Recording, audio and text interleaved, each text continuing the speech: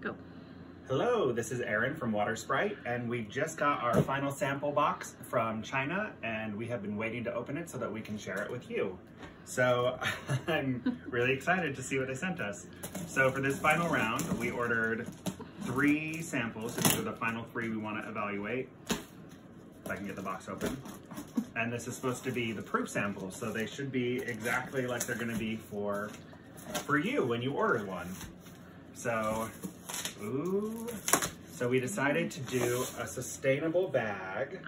Ooh, Ah. fancy. So this is our, our water sprite bag. And they made it so it clips at the top.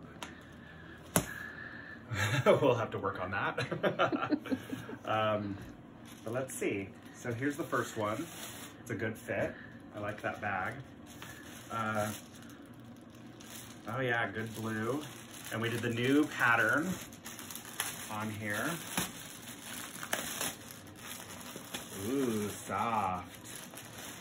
Super soft. Very soft. Comfy blanket. Ooh. So yeah, we did this mm-hmm. large raindrop pattern on here. I like that one. Yeah, I really love this fleece. It's very soft and huggable. I can see myself cozying up on this on a winter night. so this is number one. And there are two others that will look very similar, but the makeup is different. So we need to do some testing and we're gonna get back to you with a water test.